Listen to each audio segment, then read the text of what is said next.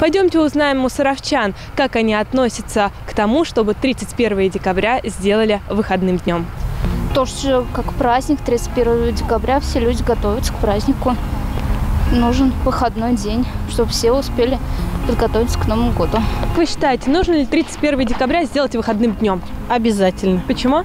Чтобы люди смогли подготовиться к Новому году хорошо и чтобы отдохнули. Все равно люди уже не работают. Пусть лучше перенесут этот день на какой-то другой, чтобы спокойно могли подготовиться к встрече Нового года. Мы все равно работаем. У нас хоть выходной, не выходной, мы работаем. Кто работает только до обеда, после обеда все равно все уходят. Конечно. Все равно люди не работают в основном 31 декабря, даже если ходят на работу.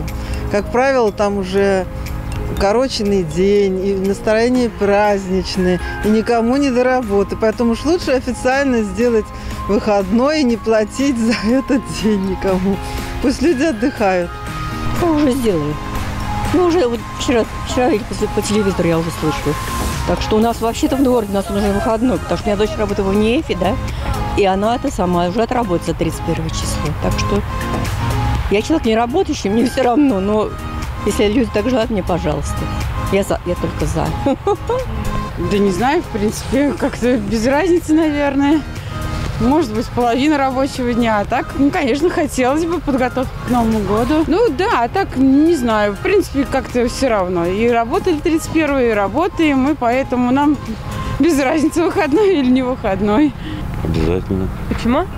Потому что предновогодний день. Большинство саровчан за то, чтобы 31 декабря признали официально выходным. Для вас опрос проводили Ирина Вышегородцева и Артемий Глазков.